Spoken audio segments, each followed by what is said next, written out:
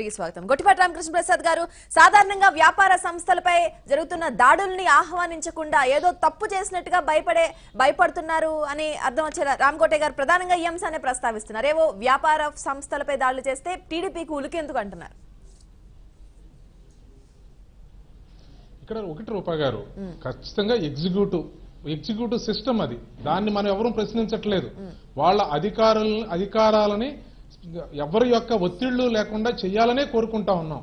వాళ్ళ యొక్క బాధ్యతలను సక్రమంగా నిర్వర్తించాలని చెప్పి కోరుకుంటా ఉన్నాం. దానిలో ఏ విధమైనటువంటి ఎవరు కూడా దాన్ని ప్రశ్నించట్లా. ఇక్కడ వారి వెనక ఉన్నటువంటి శక్తుల యొక్క విశ్వసనీయత గురించి ప్రశ్నిస్తా ఉన్నాం. నరేంద్ర మోడీ గారు ఆనాడు చెప్పింది నల్లధనం వెలికి తీస్తాం సంతోషం అవినీతిని అరికడతాం మరింత సంతోషం. కానీ ఈరోజు జరుగుతూ ఉన్నటువంటిది ఏంటండి? రాజకీయ ప్రత్యర్థుల మీద మాత్రమే జరిగేటువంటి దాడులు. నీరవ్ మోడీ గారు ఏ విధంగా వెళ్ళిపోయారో అందరికీ తెలుసు. విజయ్ మాల్యా గారు ఎలా దేశం దాటారో అందరికీ తెలుస్తోంది. ఈ రోజు రాఫెల్ కుంభకోణం ఇలా జరిగిందని చెప్పి సాక్షాత్తు ఆ ప్రధానమంత్రే మాట్లా ఆ అక్కడ మాజీ అధ్యక్షుడే మాట్లాడాడు. దానికి సమాధానం లేదు. కానీ ఎవరి మీదైనా చర్య తీసుకోవాల్సిందే. ఇక్కడ జరుగుతుంది ఏంటంటే కోట్లు తినేవారిని వదిలిపెట్టేసి ఐదు రూపాయలు తీసుకునే వారిని గనక అది- అది అవినీతి అని చెప్పాను అంటాన్ని ఇక్కడ నేను నేను ఇక్కడ మాట్లాడేది ఏమంటే దీని గురించి కాదు కోట్లు అక్కడ. కానీ ఇక్కడ జరుగుతుంది తెలుగుదేశం పార్టీకి సంబంధించినంత వరకు వచ్చేటప్పటికి ఒక్కడితైనా రు- రుజువు చేశారా? ఒక న్యాయవాదికి ఇంకోటి మాట్లాడుతున్నానండి రామకోటయ్య గారికి పెద్దలు లక్ష్మీనారాయణ గారికి కూడా.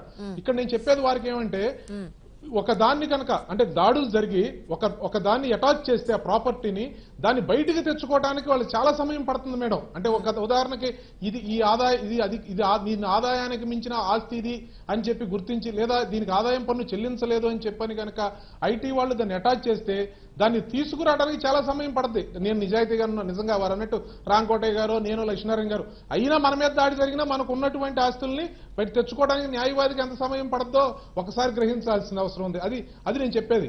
అంటే అది అక్కడ కక్ష సాధింపు చర్య అనేటువంటి పదం ఎందుకంటే రేపు ప- రేపు బాగానే వస్తాం. రేపు బాగానే జరుగుతుంది. కానీ ఈ రోజు పడేటువంటి ఇబ్బందులు మీ బ్యాంక్ అకౌంట్ సీజ్ అయింది అనుకోండి రాంకోటయ్య గారు. ఈ రోజు హైదరాబాద్ నుంచి విజయవాడ రావాలంటే మీరు ఎవరన్నా పక్కన డబ్బులు అడుక్కోవాలి. లేదా వైజాగ్ రావాలంటే ఇంకొకరిని అడగాల్సినటువంటి పరిస్థితి. ఇది అంటే నేను ఉదాహరణ చెప్తా ఉన్నాను. ఇటువంటిది ఒక కంపెనీని నడిపేటటువంటి వ్యక్తుల మీద సంబంధించి రాజకీయ కక్ష సాధింపు చర్యల్లో భాగంగా గనక దాడులు చేయటాన్ని ప్రశ్నిస్తా ఉన్నాం. ఎస్ నల్లధనం మీరు వెలికి తీశారా? ఈ గతంలో ఇంత వెలికి తీసాం ఇప్పుడు చేస్తామని చెప్పి చెప్పారా? అదంతా మర్చిపోయాం అది ఊరినే అన్నాం తూచి. మేము డిమానిటైజేషన్ చేశామన్నారు డిమానిటైజేషన్ చేసిన తర్వాత ఇది జరిగింది ఈ లాభం జరిగిందని ఒకటి చెప్తున్నారా మీరు? లేదు. పోనీ ఐటీ అధికారుల ద్వారా మేము దీన్ని ఈ విధంగా రైడ్లు చేశామని చెప్పనేది చేసి ఈ విధంగా చేశామని చెప్పగలుగుతున్నారా? లేదు.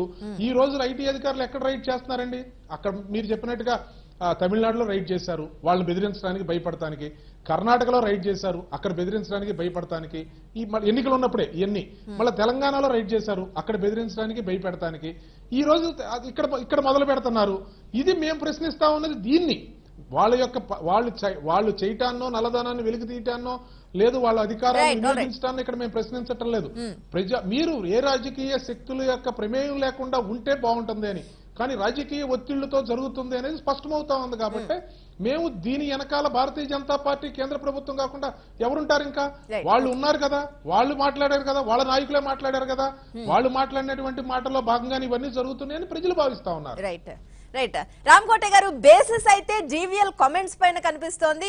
ఆగస్టు పదిహేను తర్వాత అది జరుగుతుంది రాష్ట్రంలో ఇది జరుగుతోంది జాగ్రత్తగా ఉండాలి అంటూ జీవీఎల్ ఏవైతే కామెంట్స్ చేశారో ఆ నేపథ్యంలో దీనికి అన్వయించుకుంటున్నాం. సో ఇదొక అంశం.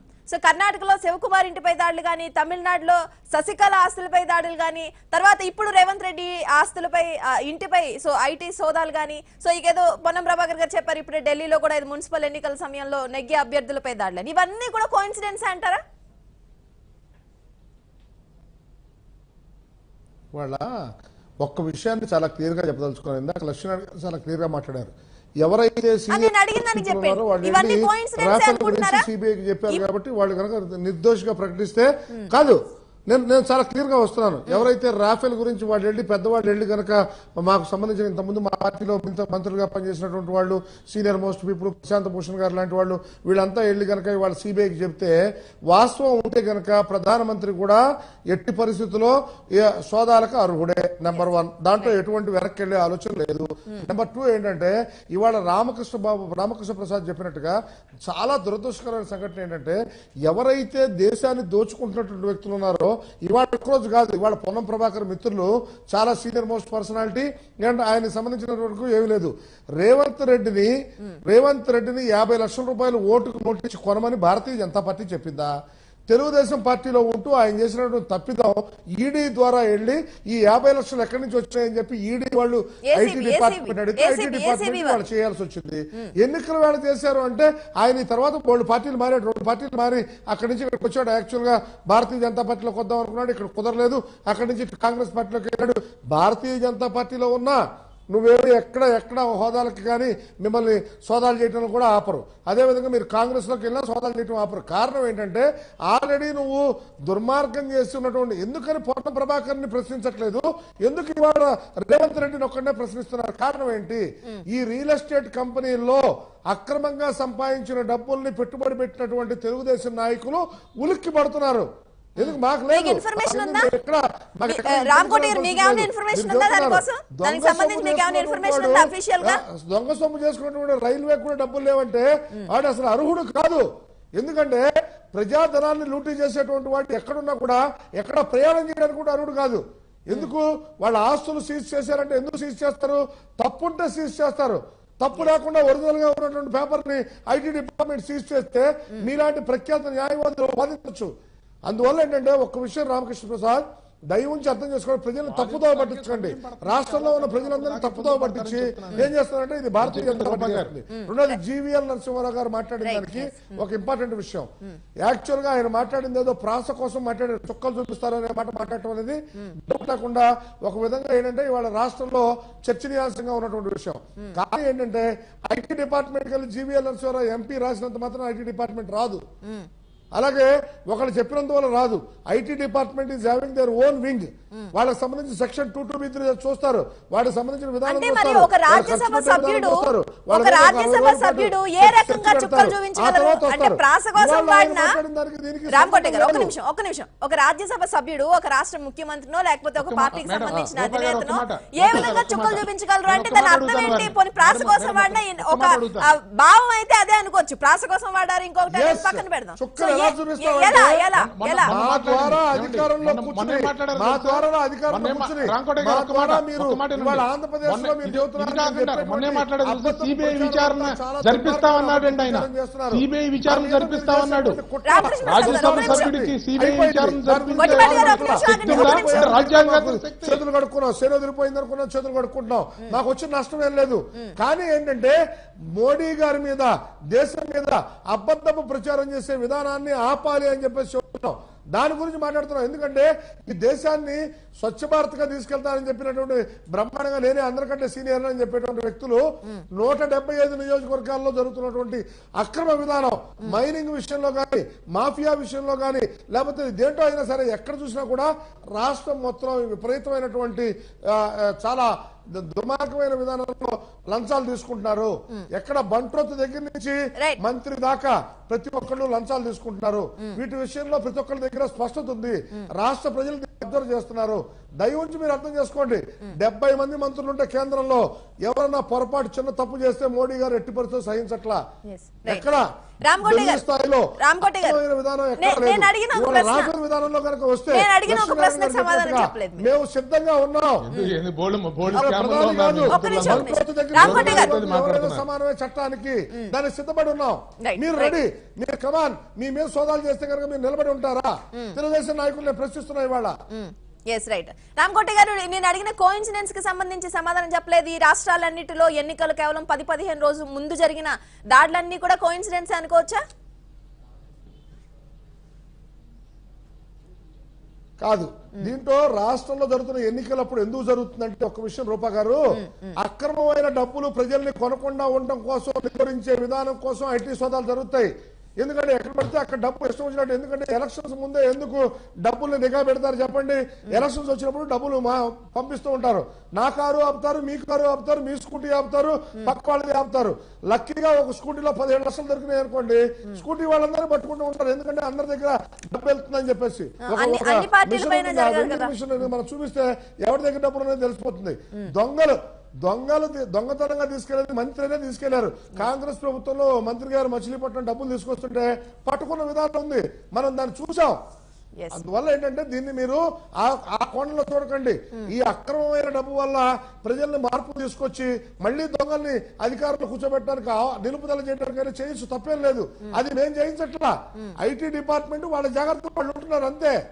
దాన్ని అనవసరంగా ఎక్కువ రాజకీయం చేసి తెలుగుదేశం పార్టీ అనవసరంగా ఉలిక్కిపడి ప్రతిదాన్ని రాజకీయం చేసి తుమ్మితే దగ్గితే ఏం జరిగినా సరే భారతీయ జనతా పార్టీదే బాధ్యత. అదిగో నరసింహరావు అన్నాడు కాబట్టి ఇక్కడ జరిగింది అని చెప్పి విధానాన్ని వీడనాడండి.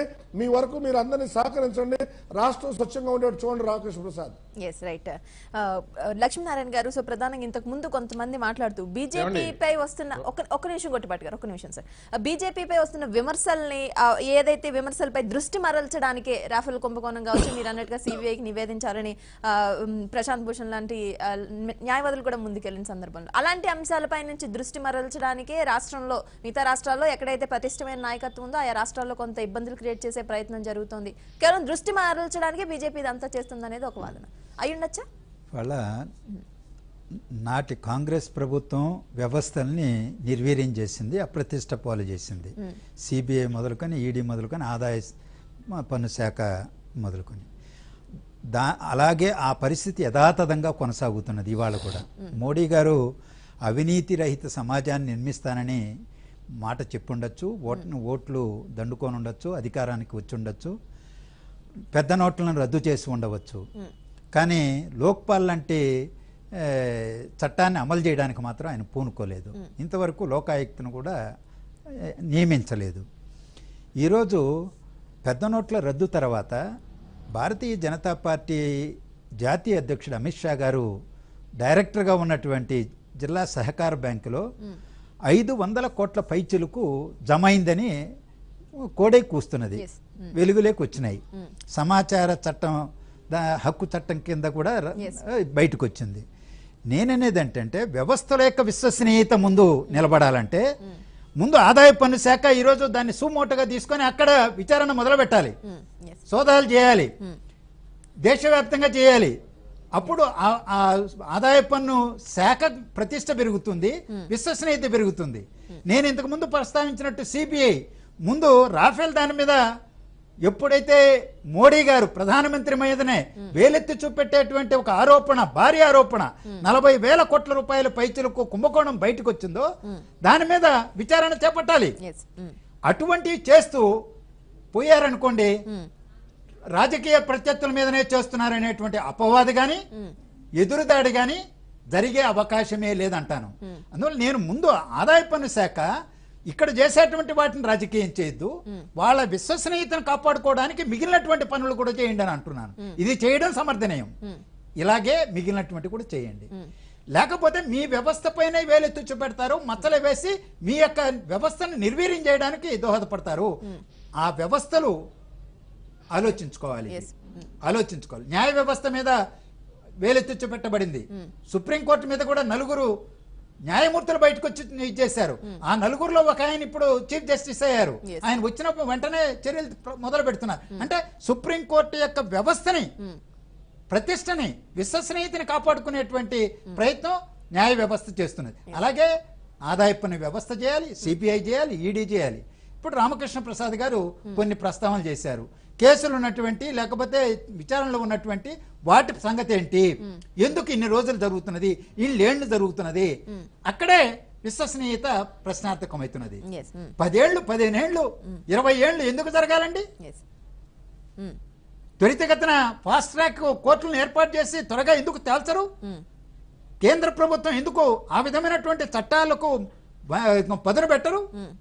ఆలోచన చేయరు? ఇది ప్రజలు అడుగుతున్నటువంటి ప్రశ్న. రైట్. రైట్ న్యూస్ రూమ్లో చిన్న విరామం తీసుకుందాం. రామకోటే గారు విరామం తర్వాత విరామం నుంచి వచ్చిన తర్వాత. సో లక్ష్మీనారాయణ గారు కానీ ఎవరైనా మీరు చెప్తున్న సందర్భాల్లో అది ఒక స్వతంత్ర ప్రతిపత్తి ఉన్న సంస్థ వాటి ఏం చేసినా కేంద్ర ప్రభుత్వానికి సంబంధం లేదని చెప్తున్న సందర్భాల్లో. ఏవైతే మీపై కూడా వస్తున్న ఆరోపణలను నిజంగా కొంతమంది నివేదిస్తున్నారు చాలా మంది నిన్న కూడా ఇప్పుడే లక్ష్మీనారాయణ గారు చెప్పారు ప్రశాంత్ భూషణ్ ఒక సిబిఐ కూడా ఆ కేసుని కేసుకు సంబంధించి పూర్తి వివరాలు ఇవ్వడం జరిగింది కేసును ఫైల్ చేయాలంటూ కూడా. సో ఇలాంటి అంశాల్లో నిజంగా సిబిఐ కావచ్చు ఐటీ కావచ్చు అనేక సంస్థలు. నిన్న మొన్నటి వరకు బీజేపీ అగ్రనాయకుడు ఎస్ఎన్ సింహ మాజీ కేంద్ర మంత్రి. ఎస్ ఆయన కుమారుడు మోడీ గారి మంత్రివర్గంలో Cabinet లో ఉన్నారు. మ- మంత్రి. అలాగే అరుణ్ శౌరి గారు గత ఎన్నికల్లో మోడీ గారికి ప్రచారం చేశారు. మాజీ మంత్రి ఒక ప్రముఖుడు భారతదేశంలో. వీళ్ళు ముగ్గురు కలిసి సిబిఐకి కేసు పిటిషన్ పెట్టారు ఇప్పుడు. రైట్ రైట్ వీటిపై కూడా నిజంగా విచారణ జరిగినప్పుడు భారతీయ జనతా పార్టీ విశ్వసనీయతను అందరూ నమ్ముతారని లక్ష్మీనారాయణ గారు అంటున్నారు. చిన్న విరామం తీసుకున్న విరామం తర్వాత సమానంపై సిబిఐకి పెట్టిన పిటిషన్ కానీ అమిత్ షా విషయంలో కొంత స్కామ్ జరిగింది. అక్కడ గుజరాత్లో సహకార బ్యాంకుకు సంబంధించి అన్ని విషయాల్లో కానీ ఐటీ నిజంగా సుమోటోగా కేసులు కేసులు నమోదు చేసిన సందర్భంలో సో ఏదైతే ప్రజలు కూడా కోరుకుంటారు నిజంగా అవినీతి డబ్బు ఎక్కడున్నా అది ప్రభుత్వానికి చేరాలని ప్రజలు కూడా కోరుకుంటారు. నిజాయితీగా ఉన్న ప్రజలందరూ కోరుకుంటారు. సామాన్యమైన ప్రజలు కూడా అదే కోరుకుంటారు. నిజంగా ఇవన్నీ జరిగితే బీజేపీకి ప్రజలే పట్టం కట్టే అవకాశం ఉంది. ఇది జరిగే అవకాశం కనిపిస్తుందా? సిబిఐ సిబిఐ కేసుని ఎదుర్కొనే ఎదుర్కోవడానికి సిద్ధంగా ఉందా? రేఫల్ కుంభకోణంపై? కేంద్ర ప్రభుత్వం. నూటికి నూట యాభై శాతం ఒకవేళ రాఫెల్లో గనక ఏమన్నా జరిగితే మొట్టమొదటిగా ఎట్టి పరిస్థితుల్లో ఈ దేశ ప్రధాని కాదు ఎవరినైనా కూడా శిక్షించాల్సిన అవసరం ఉందని చెప్పేసి భారతీయ జనతా పార్టీకి సంబంధించిన కార్యకర్తగా నేను బాహాటంగా చెప్తున్నాను. కారణం ఏంటంటే నిజంగా గనక జరిగితే ఎందుకంటే ఇది రాఫేల్ కాదు కుంభకోణం కాదు ఎట్టి పరిస్థితులు దీంట్లో ఎటువంటి ఇది లేదనే నమ్మకం ఇవాళకి కూడా మా గుండెల నుండి ఊపిరి తీసుకుని చెప్పగలం. ఎందుకంటే దాంట్లో జరిగిన విషయాల గురించి దాంట్లో ఉన్న టెక్నాలజీ గురించి ఎందుకంటే ఒక సైకిల్ మూడు వందల రూపాయలకి కొనొచ్చు మూడు వేలకి కొనొచ్చు ముప్పై వేలకి కొనొచ్చు. అదే విధంగా దేశానికి దేశభద్రతకు సంబంధించినటువంటి విమాన దీంట్లో ఎవరైతే మాజీ అధ్యక్షులు. పట్టుకుని యాక్చువల్. చెప్తున్నాను ఒక్క విషయం చాలా క్లియర్గా రూప గారు ఒక్క సెకండ్ ఒక్క సెకండ్. ఎట్టి పరిస్థితిలో ఎవరో మనకి ఎవరైతే ఫ్రాన్స్కు సంబంధించిన మాజీ అధ్యక్షుడు పట్టుకుని ఇవాళ వాడిని ఆయన తీసుకొచ్చి వారితో వాళ్ళు మాట్లాడిస్తున్నారు. వాస్తవంగా ఇవాళ ఉన్నటువంటి ఆ విషయాలు నిజంగా కనుక నిజంగా కనుక తెలిస్తే. తప్పకుండా దీంట్లో కనుక సిబిఐ తప్పకుండా సుమోటోగా తీసుకుని తప్పకుండా చేయాలి. ఆల్రెడీ ఇచ్చారంటున్నారు కదా సిబిఐ తప్పకుండా స్పందిస్తుంది. ఈ విషయాన్ని ఇంతటితో వదిలేది లేదు. ఎందుకంటే మీరే కాదు మేము కూడా ప్రశ్నిస్తున్నాం. ఎందుకంటే ఇలాంటి కార్యక్రమం జరగలేదన్న పూర్తి నమ్మకం మాకుంది కాబట్టి దీన్ని పరిపూర్ణంగా మేము సమర్థిస్తున్నాం. నూటికి నూట యాభై శాతం ఎట్టి పరిస్థితుల్లో తప్పు జరగలేదనే నమ్మకం మాకు పరిపూర్ణంగా ఉందని మరోసారి తెలియజేసుకుంటాం దీంట్లో ఎటువంటి తప్పు జరగదు ఒకటి రాఫెల్ విషయంలో. అలాగే ఆ రోజు జరిగిన సహకార బ్యాంకులో జరిగినటువంటి విధానాన్ని అప్పటికప్పుడే ఆపేయటం జరిగింది. ఆపిన విధానంలో ఆ రోజున ఒకవేళ ఏదైనా సరే అమిత్ షా విషయంలో కనుక అమిత్ షా గారి విషయంలో ఏదైనా తప్పు జరుగుంటే కనుక ఎట్టి పరిస్థితుల్లో దీన్ని ఇన్కమ్ ట్యాక్స్ డిపార్ట్మెంట్ ఉపేక్షించకుండా ఉండాల్సింది. తప్పకుండా దీన్ని సోదా చేయాల్సిన అవసరం ఉండేది. ఏంటంటే ఆ రోజున దేశంలో ప్రజల సౌలభ్యం కోసం బ్యాంకులన్నింటినీ ఒప్పి ఒప్పించారు. కానీ జరుగుతున్న దానికి ఏమంటే ఆపేయడం జరిగింది. ఇది అక్కడ ఏమైనా జరిగి ఉంటే కనుక తప్పు జరుగుంటే కనుక భారతీయ జనతా పార్టీ దానికి సిద్ధంగా ఉంది. ఈ దేశానికి మూల్యం చెల్లిస్తాం కూడా. ఎందుకంటే మేము ఎప్పుడు తప్పు చేస్తున్నామని మేము చెప్పం. చెయ్యం. కాబట్టి చెప్పం. ఎందుకంటే తప్పు చేయమని మేము చెప్పాల్సిన అవసరం మాకు లేదు.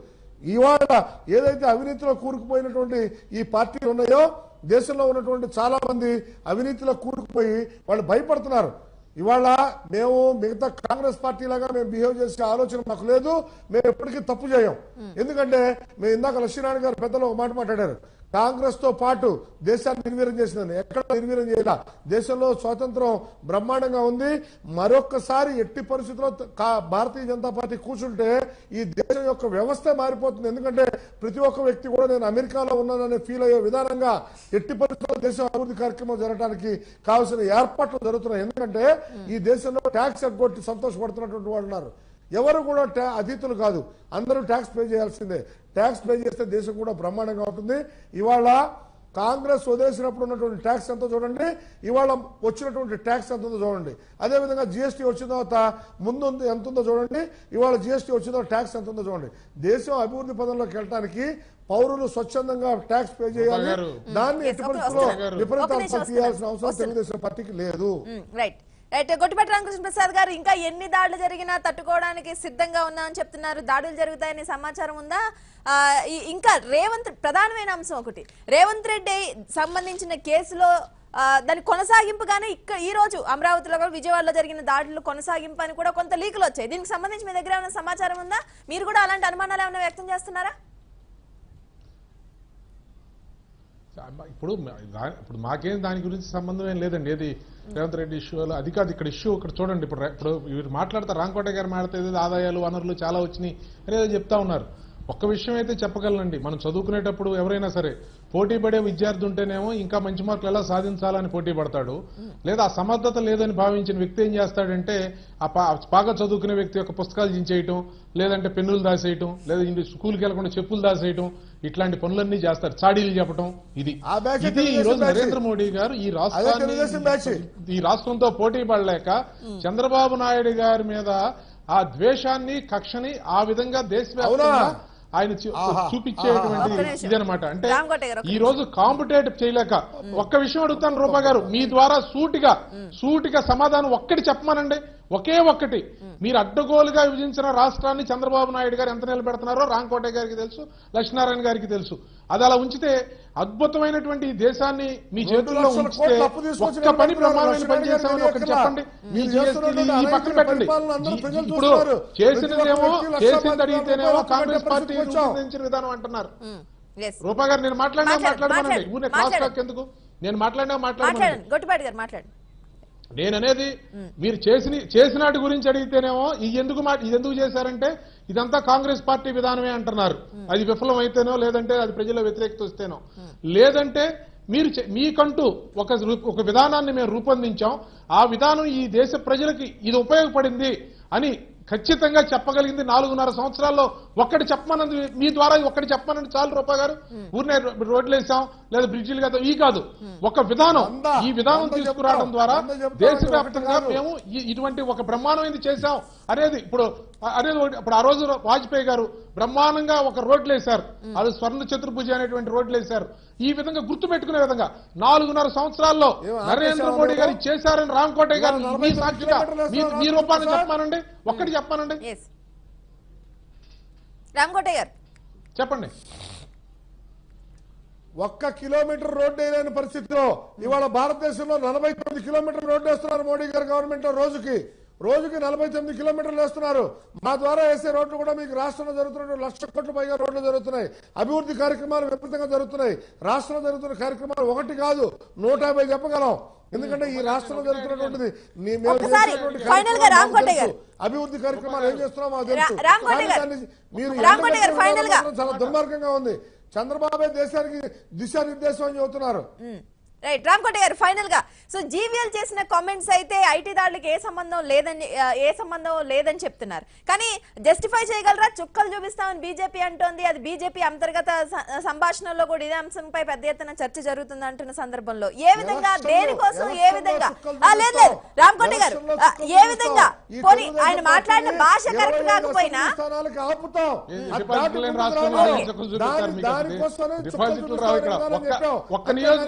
ఎలా? నూట డెబ్బై ఐదు నియోజకవర్గాల్లో ఈ నియోజకవర్గం పార్లమెంట్ అసెంబ్లీ స్థానాలతో ఆపి ప్రతిపక్షంలో కూడా కూర్చోడానికి అవకాశం లేని విధంగా చేస్తాం? ఎలా? కుట్ర చేసి. ఎలా అంటే కుట్ర చేసి. వైసీపీ జనసేన చెప్తుంది. భారతీయ జనతా పార్టీ చేస్తాం. ముక్కలు అక్కడ కేసీఆర్. కలిసి ఆడుతున్నారు. నాటకం. డ్రామాలు ఆడుతున్నారు. ప్రజలు. పిచ్చోళ్ళు అనుకుంటున్నారు. ప్రజలు ఇవన్నీ గ్రహిస్తా ఉన్నారు. మీకు ఓటు రాదు కానీ. మమ్మల్ని మాత్రం ప్రతిపక్షంలో కూర్చో ప్రతిపక్ష స్థానం కూడా దక్కనివ్వరంట. Right right all right thank you Gottipati Ramakrishna Prasad garu thank you very much Ramakota garu thank you Lakshminarayana గారు థ్యాంక్ యూ ఇది వాళ్ళ న్యూస్లో చర్చ. మొత్తానికి ఐటీ దాడులు అయితే రెండు రాష్ట్రాల్లోని కలకలం రేపుతున్నాయి. ఎక్కడ ఎన్నికలు జరిగితే అక్కడ ఐటీ దాడులు జరగడం శరా మామూలుగా మారింది. ప్రజలు ఏ విధంగా అర్థం చేసుకుంటారు? బీజేపీ ఏదైతే కేంద్ర ప్రభుత్వం ఇదంతా కుట్రలో భాగమే అని ప్రాంతీయ పార్టీలు కావచ్చు అక్కడ అక్కడ ప్రతిపక్ష పార్టీలు అయితే ఆరోపిస్తున్నాయి. సో ప్రజలు ఏ విధంగా చూసే అవకాశం కనిపిస్తుంది? వేచి చూద్దాం. ఇంట్రెస్టింగ్ న్యూస్ అప్డేట్స్ కొనసాగుతూనే ఉంటాయి. చూస్తూనే ఉండండి. అభినాంధ్ర జ్యోతి. We report, you decide.